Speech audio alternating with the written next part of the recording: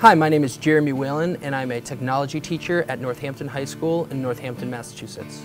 For phase three of the National Geographic Educator Certification, I chose to tell stories through images with my photography class. Photography plays a powerful role in our everyday lives, especially as new technologies make it easy for us to take and share those experiences.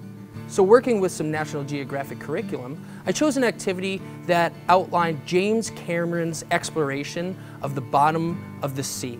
We looked at pictures, we watched videos, and we discussed and analyzed how these images told not only the story of unexplored territories, but also of James Cameron's own experience in observing this. After we understood what goes into storytelling, we set out to tell our own stories through photography. Students broke into groups and collaborated on Google Documents to make a shared narrative experience. After this narrative was made, the students were tasked to take pictures, both individually and thinking of the other pictures that students took in their group, to then tell the narrative story. After we had our narrative and our photos, we set out to record an audio version of the story as well. These experiences included both pictures that they took on the local level, but also from a global perspective, incorporating pictures from around the world. Father standing out in the garden, watching the early morning sky brightens as he counts his flowers.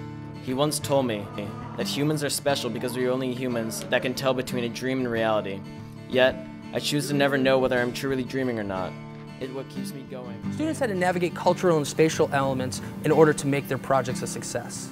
This project really worked because it empowered students to tell their own stories and to share their experiences both within the group and by themselves. I want to say thank you to National Geographic, not only for providing the resources and activities on your website, but also for allowing us to have an educational platform in this Google Plus community to share our experiences and to learn from others.